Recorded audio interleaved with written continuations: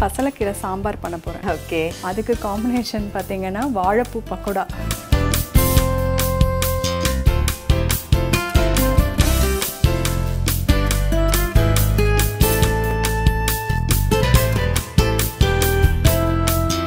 Excellent ma'am ருசிக்கலாம் வாங்க. நாளை மதியம் ஒரு மணிக்கு நமது புது யுகத்தில்